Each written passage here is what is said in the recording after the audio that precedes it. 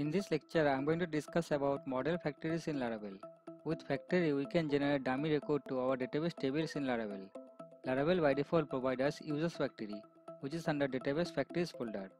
And inside this users factory, we have this definition method, where it is returning an array, and it is generating fake data with the help of PHP Faker library. Now I am going to tell you how we can generate dummy record with the help of factory and I am going to generate the record with the help of factory from the terminal. I open this terminal from our project root. Now I'll run php artisan tinker to get the php CLI and then I'll generate dummy users record to our users table with the help of user factory. So I'll call our users model and then factory method and we can call this factory method to our users table because if I open our user model it is using this HasFactory trait. That's why we can call this factory method to our user model. And if we want to generate the record we need to call create method. This will create one record to our users table. If I check our users table now we have this new record. Now if we want to generate multiple record with the help of factory then we need to call another method called count. And inside this count method you need to provide the number. If you want to generate 5 record then you can provide 5 inside this count method. This will generate 5 new record inside your users table. If I refresh our users table here we have this newly generated users record. Now I'm going to tell you how we can create new factory. We can create the factory with the help of php artisan make factory command or we can create the factory during model creation. In the previous lecture, I created migrations file for our post table, but I did not create post model. Now I will create post model and I will tell you how we can create the factory along with model creation. So from our project root, I will run php artisan make model and the model name will be post and if you want to generate the factory along with model creation you can provide minus f flag. This will create the factory file along with your model creation but I am not going to create the factory along with post model creation. I will create the post factory separately. So let's create our post model and if I check our app models folder here we have our post model and if I check our database inside our post table we have this title description feature status total likes created updated user id column so let's add these columns as fillable property.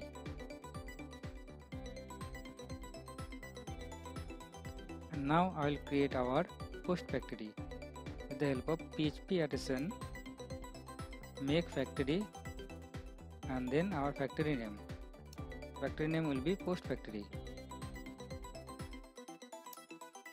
So factory created successfully. If I open our post factory we can define the model for which model we are using this factory. If I check Laravel documentation, let's search factory. And then let's click on this defining model factories. And we can define the model inside our factory with this protected property called model. And this factory will be for the post model. So I'm providing post model here and let's import our post model inside this file. Now from this return array I'm going to provide the attribute and its value. So I'm going to create the title with the help of PHP Faker library. PHP Faker library will be available inside this file. So we can call this Faker and we can create the title with the help of title method. And we can provide the string character length here because if I check our post table structure the character length for this title field is 200 so we need to provide title with 200 character. That's why we are generating title with 200 character. And then let's create description with the help of PHP records paragraph method.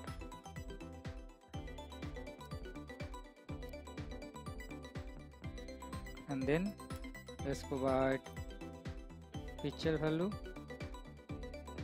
We to provide true or false for picture. For now, let's pass true and then let's add status and this will be active or inactive let's provide active and then let's pass total likes. Let's provide 0 for now and then for the user id we cannot provide hard-coded data. We need to provide dynamic data which will be the id from our users table record right? That means users id so what we can do here we can simply call our user factory. And then we can create the record. And because we are using user model here so let's import the user model here.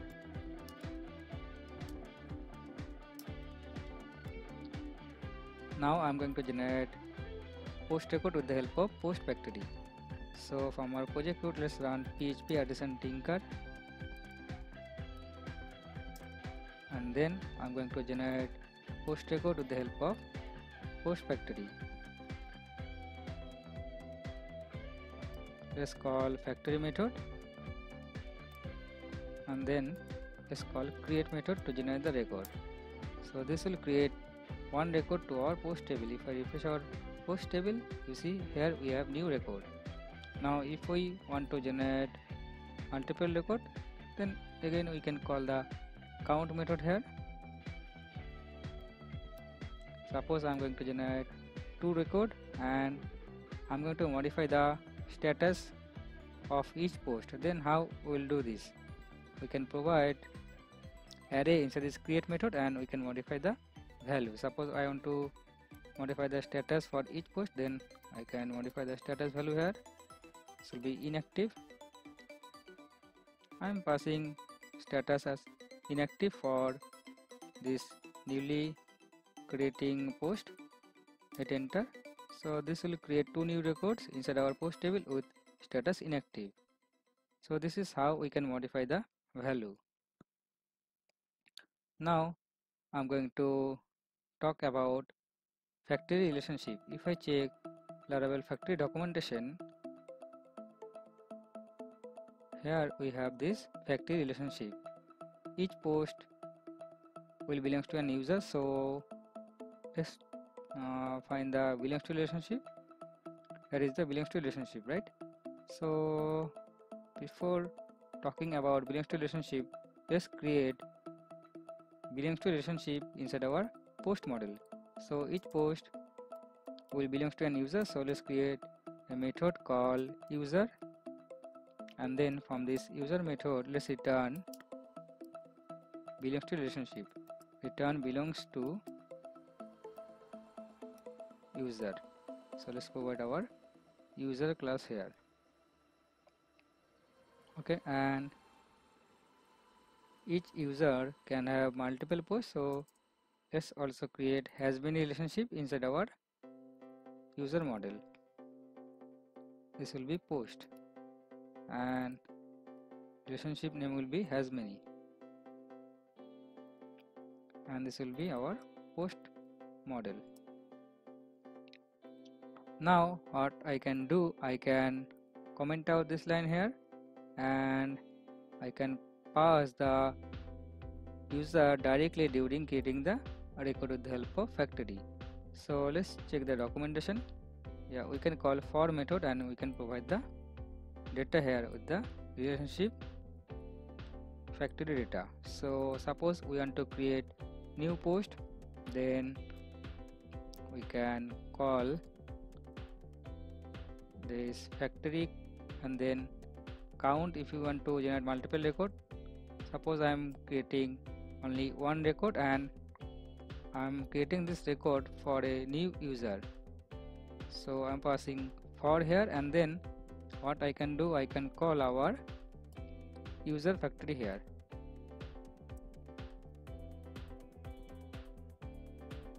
let's call factory method. And then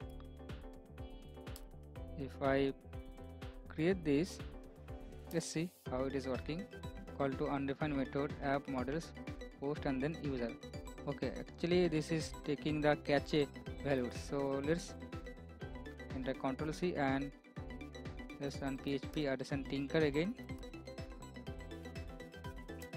And let's run this command. You see it is generating a new record to our post table. And if I check our post table so we have this new record inside our post table. So instead of uh, calling this for method and passing the relationship factory we can call the relationship name along with for. So I'm uh, I'm checking the documentation. What is the method name? Yeah it is called magic method. So instead of passing the factory name directly inside this for method we can also call for and then our relationship name. Suppose I want to create another post and inside our post model we have the relationship called user I think. Yeah user. So we can create the new post and we can call for user method. So this will create a new post with a new user. Hit enter. So it will create a new post with new user. And you can also provide the or you can also provide or modify the user name here. Suppose I want the username Hike Coding then I can provide the username here. Hit enter.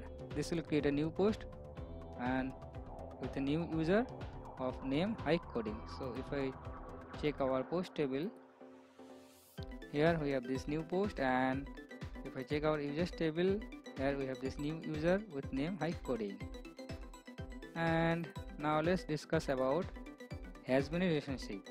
So this is how we generated data with belongs to relationship with model factory. Now let's discuss about has many relationship. So now i'm going to call our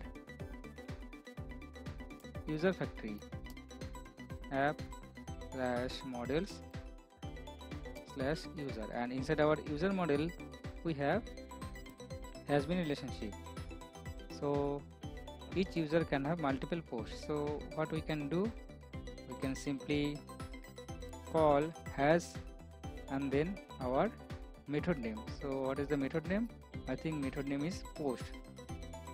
And then we can call create method. And how many records we want to generate for the post? We can define it inside this has post method i think. Let's check the documentation so let's find the has been relationship. Yeah. Okay instead of this magic method yeah we can mm, provide the number inside this has post method right? So suppose I want to generate 5 posts for this newly user newly created user then I can provide number. How many uh, I mean how many posts I want to generate for this user I can provide the number. Inside this has post method. This is a magic method. Or you can provide the uh, I mean you can provide the factory like this way also. Inside your has method. So let's hit enter. So this will generate five new records for newly created user. If I check our users table here we have this new user of id 14 and if I open our post table there should be 5 new posts with user id 14 you see. So that's it that is how we work with model factories in laravel. So if you like the video you can subscribe my channel for latest videos. In the next lecture i'm going to discuss about seeder in laravel. So stay connected